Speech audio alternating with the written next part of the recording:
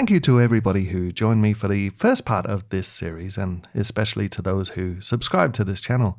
That was very encouraging, and I'll do my best to keep this channel regular uh, with plenty of interesting content.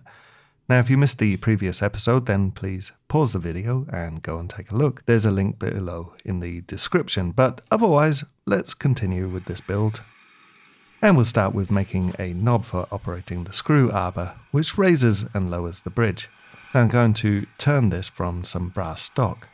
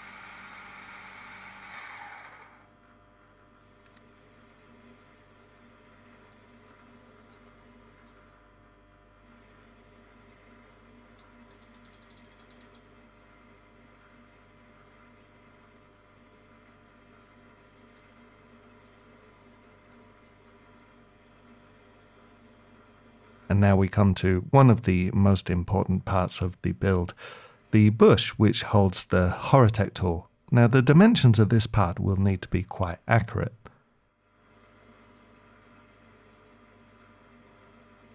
Now first it needs to fit the hole in the bridge loose enough so that it can have free up and down movement, but it cannot have any side to side movement. This is because we don't want the Horotec tool to wobble around or be unstable as we operate it. Now this is the whole point of the project. Now this is actually my second attempt due to a small mistake when boring the hole for this to fit into. I made that hole perhaps a tenth of a millimeter too large and the wobble was really quite noticeable.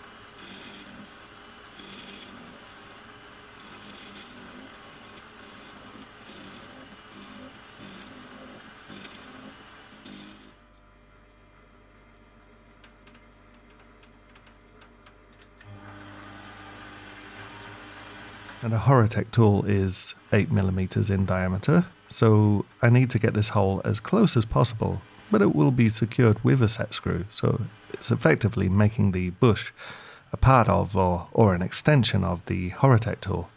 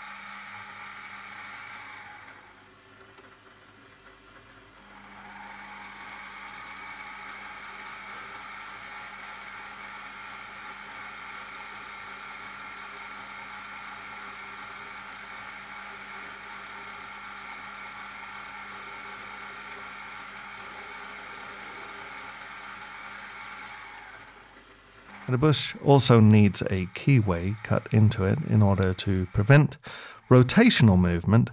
Uh, because the Horotec tool is secured to the bush, this will prevent the tool from spinning around as it's being operated. And it also prevents the bush, and by extension the Horotec tool, from being removed from the bridge without loosening its set screw.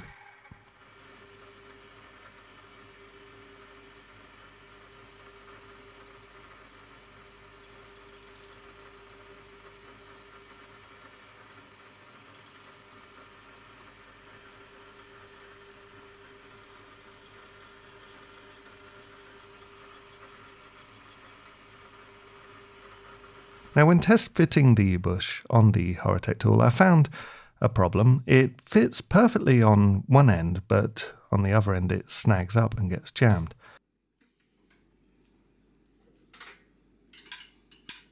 Now, it's not a huge problem, but I would rather the bush be easy to remove should I want to. Now, determined that the issue is with the Horotec tool, it's not a constant 8mm all along its length. So I'm going to carefully file and sand it down until I get the fit that I want.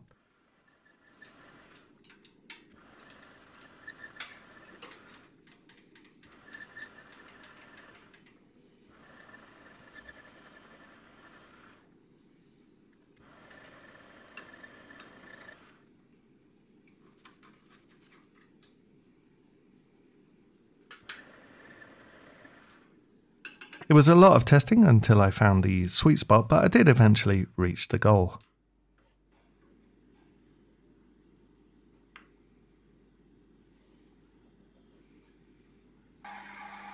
So here I am boring out the hole for the bush, and unfortunately I messed it up.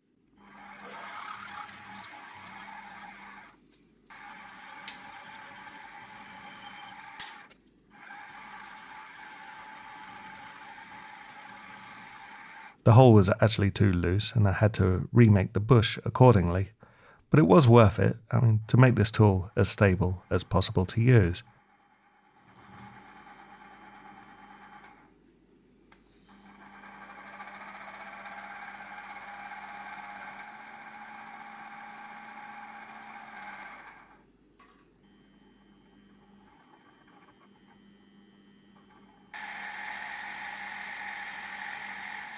Now I can make the bridge design a little bit better so that the movements placed under it will be easier to see.